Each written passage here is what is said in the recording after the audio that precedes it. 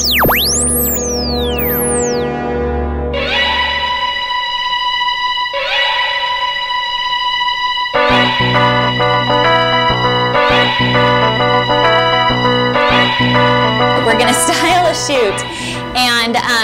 I'm going to take you through the concept of how I came up with this shoot.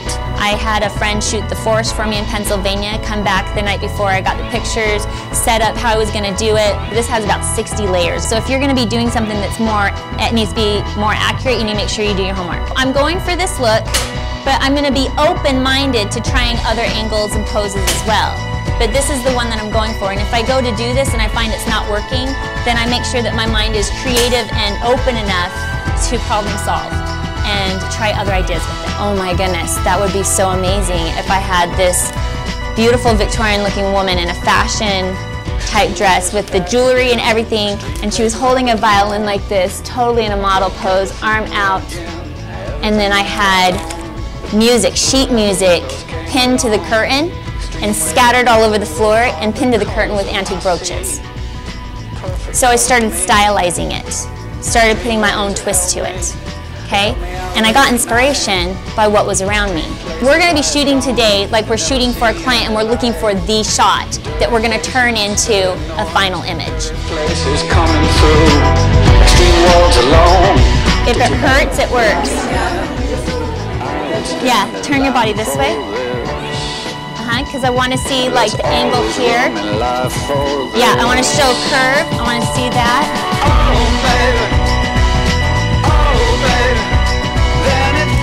Like, see down here, I love this. Yeah, I like how you're chin up a little bit, turn your head to me, chin down. A little bit.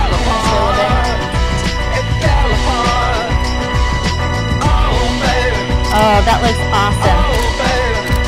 Okay, let me get it. Okay, I got my shot.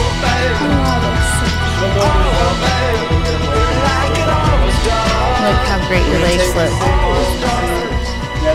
What I wanted to do is I wanted to make the reds a little richer. Up here, I put it on 60% on opacity, and then I did a bigger clone tool and I clicked and in the same area and then I just blur I blended it in here.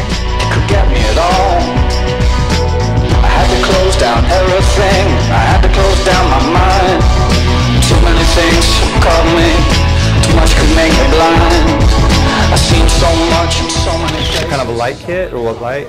something like this, if you were to buy one in piece, where do you start? Where do you start? Okay, yeah, that's a good. Do you want to show? I use Lightroom to it has a capture program and you can actually click your mouse and fire the camera from the computer. It's pretty cool. Every type of light light head will have a different speed ring that you can use to attach it. This is a Profoto light kit, so it has its own special speed ring that attaches to their their light heads. So Chelsea, come on out and let's let's try to make a picture.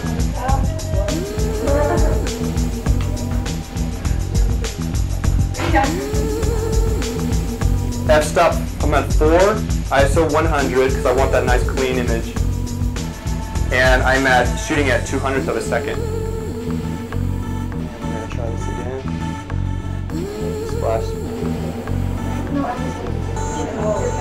Focusing on her eyes. And I also like to use autofocus.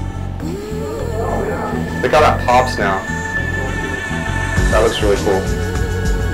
You gotta make sure it's doing what you want. Yeah. Happier now.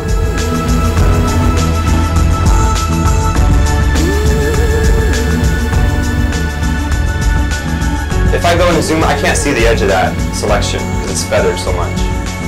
So if I look at that, see that? Someone said something? What do you want to learn? They start to pop, the eyes. Who hasn't done this before? So if you can shoot in your eye, have that capabilities, I recommend it because you can go right away. It's like she was saying, if this is, if it comes in looking like this, it can be like this in a heartbeat. You can transform someone quite a bit without it being very noticeable at all. And it really makes people happy. So.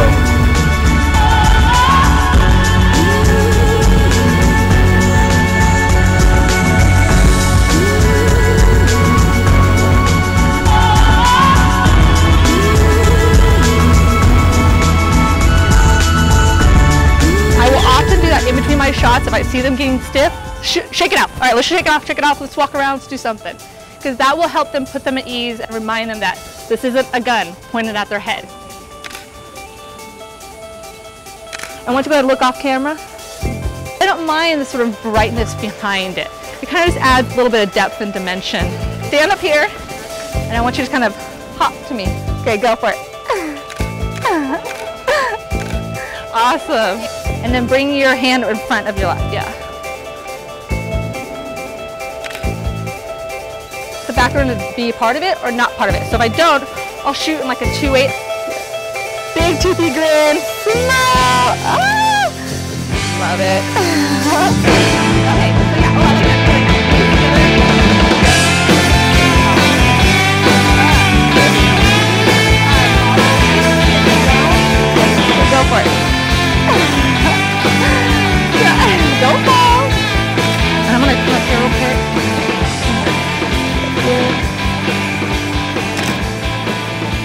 Nice. But you never want to tilt. Like, I am so anti-tilting, it's not even funny. So like, yeah, don't tilt near me. And then your left hand. yeah, so I can get into this. That's what works.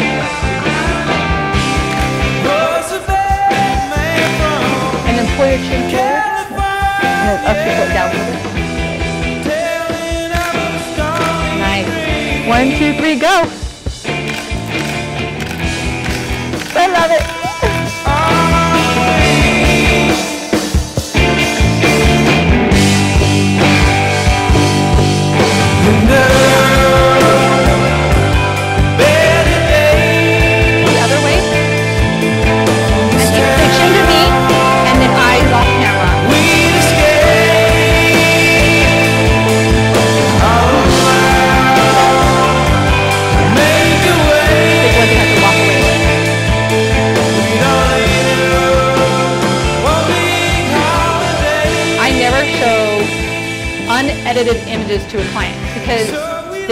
Understand what you can do or how it's going to not look like that. Color corrector is 30, and that's what you're going to show to the client. The red part pops up, and you see that's overexposed. As long as it's not on her face, I'm not worried about it. Going to the right kind of warms it up, and then to the left cools it down. So I like warmer tones. I tend to gravitate towards that. And everything you did in the shade, that would be another. Exactly. Exactly. Each one you're doing something different. Brighten the brights. Um, hit some of these highlight areas. Um, so that's what I do. That's that's my that's my Lightroom workflow.